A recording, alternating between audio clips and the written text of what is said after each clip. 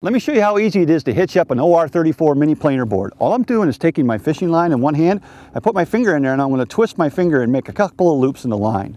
Once I make those loops in the line, I'm going to take the front release, the OR10, and place that right on the twist of the line.